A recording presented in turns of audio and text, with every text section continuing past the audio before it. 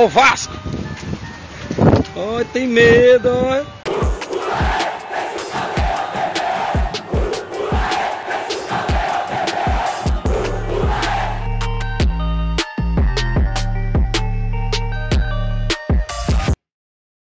É, pois é. O clássico de quarta-feira foi tão fantástico que até agora eu não consigo tirar a camisa. Vasco! Vasco! Aí os urubus ficam como? Se assustam em tudo. Bom dia para você, bom dia para todo mundo ligado nesse Bom Dia Gigante. Entra a hashtag, hashtag sextou. Hoje é comigo e eu não consigo nem tirar a camisa do Vasco de tão fantástico que foi esse clássico na quarta-feira, Vasco Flamengo 4 a 4 Que atuação do Vasco da Gama!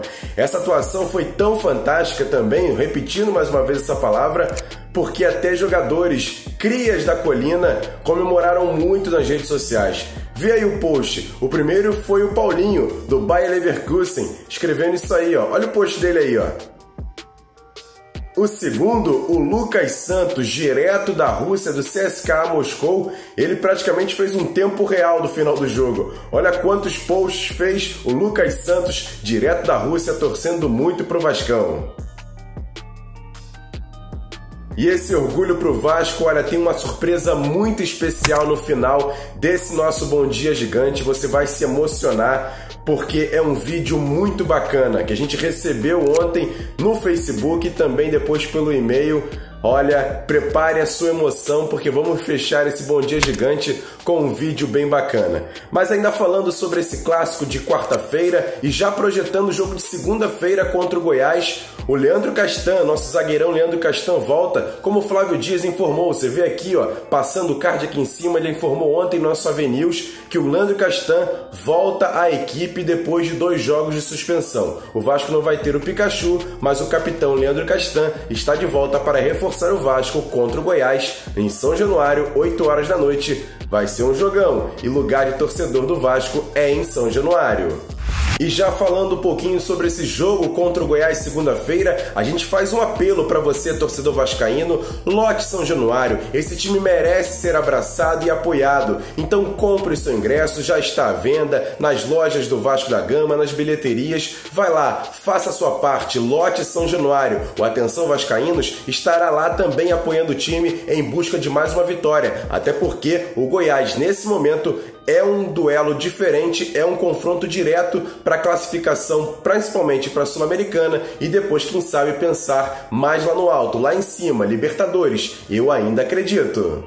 E por falar um pouco também da base, o base que tem dois jogos importantes em breve. No sábado, amanhã, vamos ter um jogo bem complicado contra o Palmeiras, no campo do Arte Sul, lá em Nova Iguaçu. Um jogo muito complicado em Austin, já que no primeira partida, semifinal do Campeonato Brasileiro em São Paulo, o Vasco empatou em 1 a 1. Precisa de uma vitória simples para ficar com essa vaga e aí sim chegar à final do Campeonato Brasileiro Sub-20. Vamos lá, Vascão, contra o Palmeiras precisamos dessa vitória. Já na quarta quarta-feira, em São Januário, três e meia da tarde, o Vasco recebe o Flamengo. No primeiro jogo, no Luso Brasileiro, o Vasco, com uma arbitragem bem polêmica, perdeu por 2 a 0 com dois gols de pênalti. E aí o Vasco precisa vencer pelo menos pelo mesmo resultado para levar a decisão por pênalti ou então por 3 a 0 para buscar esse título do Campeonato Carioca. A torcida vai poder lotar São Januário, os ingressos já estão à venda, você está vendo aí na tela o preço desses ingressos e o Vasco pode lotar lotar São Januário, já que o valor é bem baixo. E lembrando que a cada R$ reais de cada ingresso vai ser doado para a vaquinha do CT, ou seja, você lota São Januário, apoia o time sub-20 e ainda faz sua contribuição para o novo CT do Vasco da Gama. Boa ideia, hein?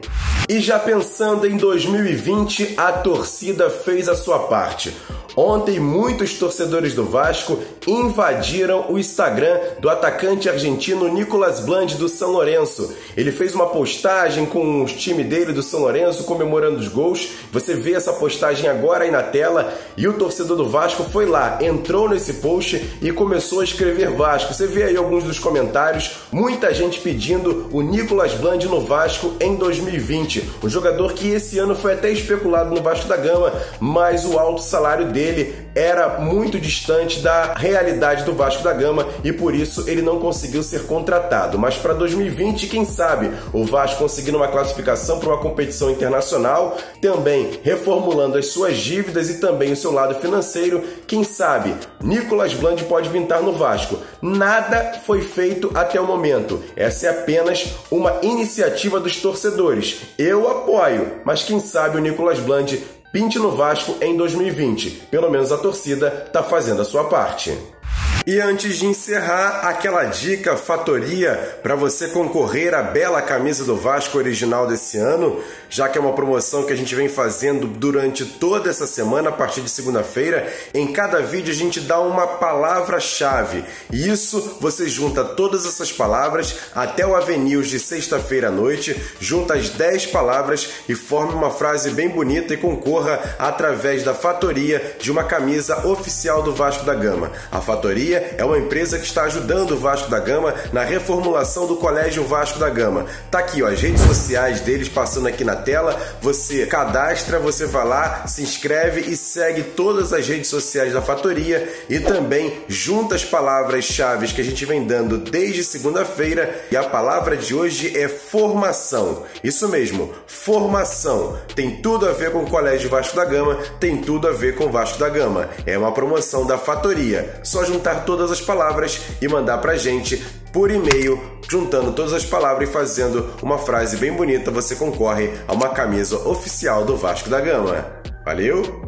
E agora sim, como prometido desde lá do começo desse Bom Dia Gigante, eu vou colocar daqui a pouquinho esse vídeo muito especial.